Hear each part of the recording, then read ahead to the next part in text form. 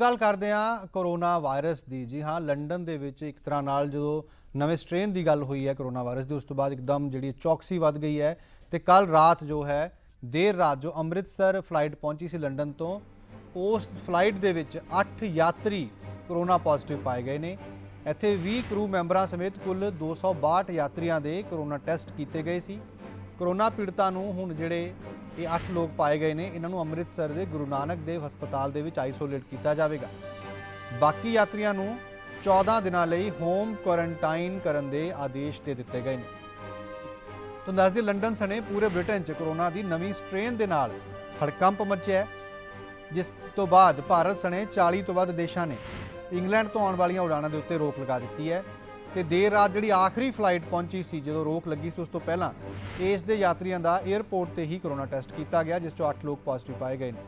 ਤੇ ਜਦੋਂ test report 'ਚ ਦੇਰੀ ਹੋ ਰਹੀ ਸੀ, ਤਾਂ 에ਅਰਪੋਰਟ ਦੇ ਬਾਹਰ ਅੱਜ ਯਾਤਰੀਆਂ ਦੇ ਰਿਸ਼ਤੇਦਾਰਾਂ ਨੇ ਹੰਗਾਮਾ ਵੀ ਕੀਤਾ। ਇੰਗਲੈਂਡ ਤੋਂ ਬੀਤੀ ਦੇਰ ਰਾਤ ਭਾਰਤ ਪਹੁੰਚੇ ਯਾਤਰੀਆਂ ਨੂੰ ਭਾਰੀ ਪਰੇਸ਼ਾਨੀਆਂ ਦਾ ਸਾਹਮਣਾ ਕਰਨਾ ਪਿਆ। ਦਰਅਸਲ, ਸ਼੍ਰੀ ਗੁਰੂ ਰਾਮਦਾਸ ਕੌਮਾਂਤਰੀ ਹਵਾਈ ਅੱਡੇ ਤੇ ਸਾਰੇ ਯਾਤਰੀਆਂ ਦੇ ਕਰੋਨਾ ਸੈਂਪਲ ਲੈਣ ਦਾ ਆਦੇਸ਼ ਦਿੱਤਾ ਗਿਆ ਸੀ, ਜਿਸ ਦੇ ਚਲਦਿਆਂ ਲੰਬਾ ਸਮਾਂ ਯਾਤਰੀਆਂ ਨੂੰ ਪਰੇਸ਼ਾਨੀਆਂ ਚੱਲਣੀਆਂ ਪਈਆਂ ਔਰ ਬੀਤੀ ਦੇਰ ਰਾਤ 12:05 ਮਿੰਟ ਤੇ ਜਿਹੜੀ ਉਡਾਨ ਉੱਥੇ ਪਹੁੰਚੀ, ਜਿਸ ਦੇ ਰਾਹੀਂ 244 ਯਾਤਰੂ ਅੰਮ੍ਰਿਤਸਰ ਦੇ ਸ਼੍ਰੀ ਗੁਰੂ ਰਾਮਦਾਸ ਕੌਮਾਂਤਰੀ ਹਾਈਡੇ ਹਵਾਈ ਅੱਡੇ ਤੇ ਪਹੁੰਚੇ ਸਨ, ਪਰ ਕਰੋਨਾ ਸੈਂਪਲ ਦੇ ਚਲਦੇ ਇਹਨਾਂ ਨੂੰ ਲੰਬਾ ਸਮਾਂ ਇੱਥੇ ਇੰਤਜ਼ਾਰ ਕਰਨਾ ਪਿਆ। ਰਿਪੋਰਟਾਂ ਆਉਣ ਤੋਂ ਬਾਅਦ ਜਿਹੜਾ ਇਹਨਾਂ ਨੂੰ ਬਾਹਰ ਆਣ ਦਿੱਤਾ ਗਿਆ ਤੇ ਹੁਣ ਯਾਤਰੀ ਇੱਕ ਇੱਕ ਕਰਕੇ ਬਾਹਰ ਆਣੇ ਸ਼ੁਰੂ ਹੋਏ ਨੇ। ਤੋਂ ਜ਼ਾਹਰ ਜੀ ਗੱਲ ਹੈ ਉਹਨਾਂ ਨੂੰ ਲੈਣ ਆਏ, ਉਹਨਾਂ ਦੇ ਪਰਿਵਾਰਕ ਮੈਂਬਰ ਤੇ ਰਿਸ਼ਤੇਦਾਰਾਂ ਨੂੰ ਵੀ ਸਾਰੀ ਰਾਤ ਠੰਡ ਦੇ ਵਿੱਚ ਇੱਥੇ ਖੜ ਕੇ ਇੰਤਜ਼ਾਰ ਕਰਨਾ ਪਿਆ, ਖੱਜਲ ਖੁਆਰੀ ਦਾ ਸਾਹਮਣਾ ਕਰਨਾ ਪਿਆ। ਕਾਫੀ ਪਰੇਸ਼ਾਨੀ ਚੱਲਣੀ ਪਈ ਕਿਉਂਕਿ ਲੰਬੇ ਸਮੇਂ ਬਾਅਦ ਆਪਣੇ ਪਰਿਵਾਰਾਂ, ਪਰਿਵਾਰਕ ਮੈਂਬਰਾਂ ਨੂੰ ਲੈ, ਮਿਲਣ ਜਾ ਰਹੇ ਸਨ, ਇੱਥੇ ਪਹੁੰਚੇ ਸਨ। ਸਾਨੂੰ ਉਹ ਦਲਾਸਾ ਦੇ ਕੇ ਅੰਦਰ ਬਿਠਾਤਾ ਗਿਆ ਕੀਤਾ ਕੁਛ ਨਹੀਂ ਗਿਆ। ਉਸ ਤੋਂ ਬਾਅਦ ਇਹ ਲੋ ਵੀ ਰਾਤ 12:40 ਦੇ ਆਏ ਆ ਇਸ ਟਾਈਮ ਤੇ ਉਹ ਵੀ ਮਿੰਟ ਵਾਲੇ ਕਰਨ ਤੋਂ ਬਾਅਦ ਹੁਣ ਸਾਡੀ ਸੁਣੀ ਗਈ ਹੁਣ ਅਸੀਂ ਬਾਹਰ ਆਏ ਹਾਂ। ਕੋਈ ਜਾਣਕਾਰੀ ਦਿੱਤੀ ਗਈ ਉੱਥੇ ਜਾ ਕੇ ਦੁਬਾਰਾ ਕੋਈ ਜਾਣਕਾਰੀ ਨਹੀਂ ਸੀ। ਇੱਥੇ ਜਦੋਂ ਪਲੇਨ ਲੈਂਡ ਹੋਇਆ ਉਦੋਂ ਸਾਨੂੰ ਦੱਸਿਆ ਗਿਆ ਕਿ ਤੁਹਾਡੇ ਲਈ ਜਿਹੜਾ ਇੱਥੇ ਆ ਕੇ ਤੁਹਾਡੀ ਕਰੋਨਾ ਟੈਸਟ ਦੁਬਾਰਾ ਹੋਊਗਾ। ਅੱਠਾਂ ਮਹੀਨਿਆਂ ਬਾਅਦ ਆਈ ਹਾਂ। ਆਪਣੇ ਫਾਦਰ ਦੇ ਫਿਊਨਲ ਕੀ ਪਰੇਸ਼ਾਨੀ ਚੱਲੀ? ਮੇਰੇ ਫਾਦਰ ਦਾ ਫਿਊਨਲ ਹੈ ਅੱਜ। ਤੇ ਇਹਨਾਂ ਨੂੰ ਇੰਨੀ ਸੰਗ ਨਹੀਂ ਕਿ ਮੈਂ ਇਹਨਾਂ ਨੂੰ ਸ- ਸਵੇਰ ਦੀ ਕਹੀ ਜਾ ਰਹੀ ਕਿ ਆਈ ਨੋ ਤੁਸੀਂ ਲੌਕ ਕਰ ਰਹੇ ਆ ਪਰ ਕੁਛ ਤਾਂ ਪ੍ਰਾਇੋਰਟੀ ਹੋਣੀ ਚਾਹੀਦੀ ਜਿਹੜੇ ਐਮਰਜੈਂਸੀ ਤੇ ਆਏ ਆ ਉਹਨਾਂ ਲਈ ਇਹ ਕੁਛ ਨਹੀਂ ਕਰ ਰਹੇ। ਤੁਸੀਂ ਆਪਣੇ ਫਾਦਰ ਡੈਥ ਤੇ ਆਪਣੇ ਫਾਦਰ ਦੀ ਅੱਜ ਉਹਨਾਂ ਦਾ ਅੰਤਿਮ ਸੰਸਕਾਰ ਆ 12 ਵਜੇ ਦੀ ਉਹ ਵੇਟ ਕਰਦੇ ਆ ਸਾਡੀ। ਤਿੰਨ ਘੰਟੇ ਐਵਰੀ ਆਵਰ ਉਹਨਾਂ ਦਾ ਫੋਨ ਆ ਰਿਹਾ ਮੈਂ ਕਹ ਰਹੀ ਆਵਰ ਕੱਟ ਜਾਓ ਆਵਰ ਰੁਕ ਜਾਓ। ਅਜੇ ਤੱਕ ਉਹਨਾਂ ਦਾ ਰਿਜ਼ਲਟ ਨਹੀਂ ਆ ਰਿਹਾ ਉਹਦਾ ਰਿਜ਼ਲਟ ਲੈ ਆਏ ਆ ਕਹਿੰਦੇ ਉਹਦਾ ਰਿਜ਼ਲਟ ਨਹੀਂ ਆਇਆ।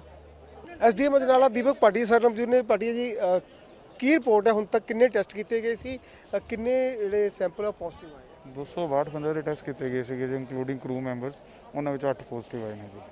ਉਹਨੂੰ ਦਾ ਅੱਗੇ ਕੀ ਉਹਨਾਂ ਲਈ ਜੋ ਸਰਕਾਰ ਦੀ ਨਵੀਂ ਐਸਓਪੀ ਦੀ ਹਦਾਇਤਾਂ ਦੇ ਮੁਤਾਬਕ ਉਹਨਾਂ ਦਾ ਸਾਰਾ ਜਿਹੜਾ ਵਾ ਆਈਸੋਲੇਸ਼ਨ ਕੀਤੀ ਜਾਏਗੀ। ਜਿਹੜੇ ਪੋਜ਼ਿਟਿਵ ਆਏ ਉਹਨਾਂ ਨੂੰ ਅੰਮ੍ਰਿਤਸਰ ਰੱਖਿਆ ਜਾਊਗਾ ਹਾਲੇ ਤੇ ਇਹੀ ਹੈ ਜੀ। ਬਾਕੀ ਹੈਲਥ ਡਿਪਾਰਟਮੈਂਟ ਨਵੀਂ ਐਸਓਪੀ ਆਈ ਉਹਦੇ ਉਹਦੇ ਅਨੁਸਾਰ ਹੀ ਇਹਨਾਂ ਨੂੰ ਰੱਖਿਆ ਜਾਏਗਾ।